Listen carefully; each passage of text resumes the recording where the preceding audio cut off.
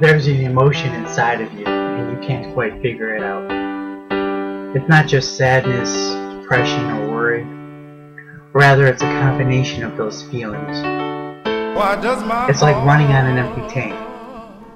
It's enough to shed tears for, but you don't even understand why. You feel it when you sit down at your desk at work, or you feel it after getting home from your tropical vacation. Maybe you feel it before you even go to bed, or even after you wake up.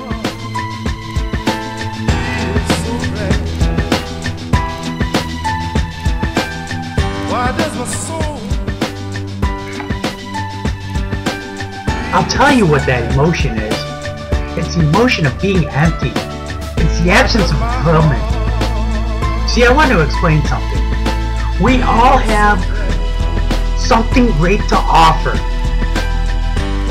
Do you ever wonder why no matter how excited you were to get that new job and celebrate with your friends and family, soon after that mysterious feeling crept back up inside you?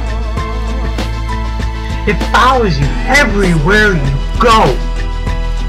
You try going to the gym or donating money, and no matter what you do, it seems to creep right back up in you.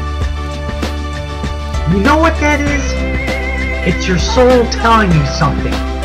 It's telling you that you are not living with greatness.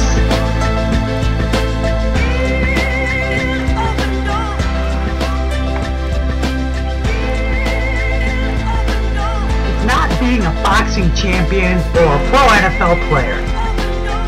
It's living the life you were meant to live.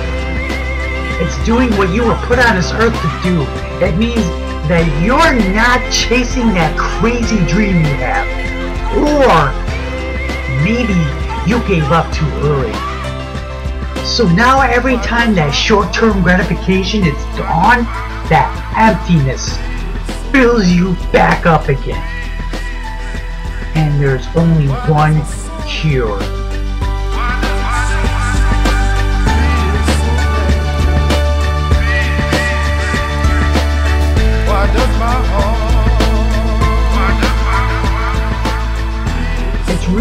That mysterious, is it?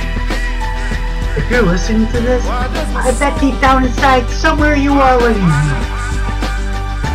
So the next time you look in the mirror, ask yourself, are you living with greatness?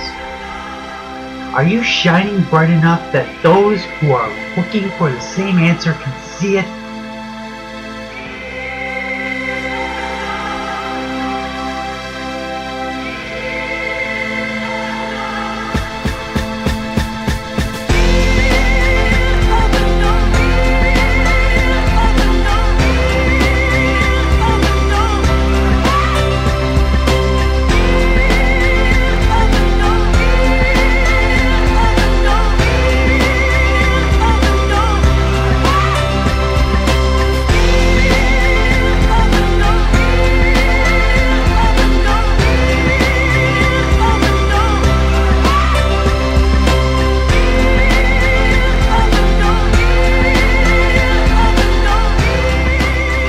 meaning of life is to give life meaning. Now go out and find out what that meaning is. Feel that empty spot. Fill back up. Lift your chin and take on the world. Be that lighthouse for those lost in the sea of life, struggling to find their way. Live with greatness.